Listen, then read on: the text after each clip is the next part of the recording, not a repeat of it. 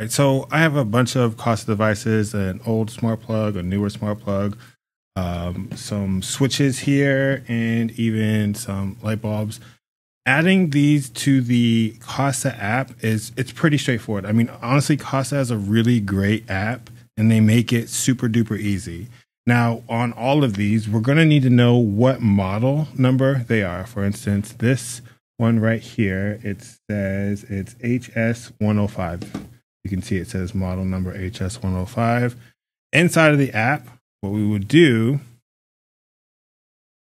of the way, is uh, hit that plus sign in the upper right hand corner here. And select device. And then we're going to select the type of device. And then here we'll scroll down and find the HS 105, which is this top one here.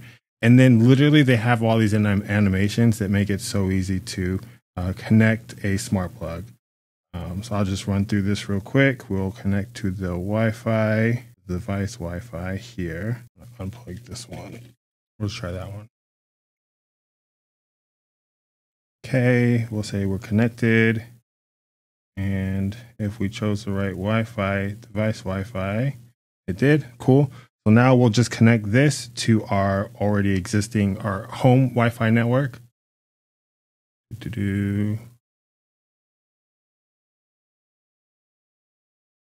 And we'll name this one outside light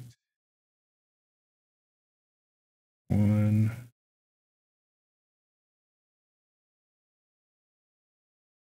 And we'll give it a thing that's in my yard. And literally that's it. That is how you set up almost every device. Now the you know the connecting it to the uh, Wi-Fi is going to be a little bit different based off of the device that you're um, connecting. So, for instance, this bad boy, right? Like this setup process is going to be a little bit different. Um, obviously, I can't set this up because I don't have it installed right now. Uh, but you would go to smart switches. I know that this is a smart dimmer. And now we have to follow the instructions that are included. So if it's a Wi-Fi setup or a Bluetooth setup, we will choose and then uh, it's even going to walk us through how to install this, which is dope. There you go. So um, in this process, it tells us what tools we'll, we'll need, which is super cool as well. And it's going to walk us through how to install this.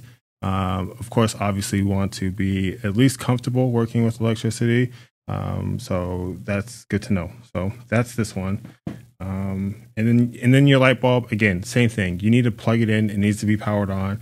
And when you um, close out of this, okay, when you go to add it, device, smart lights,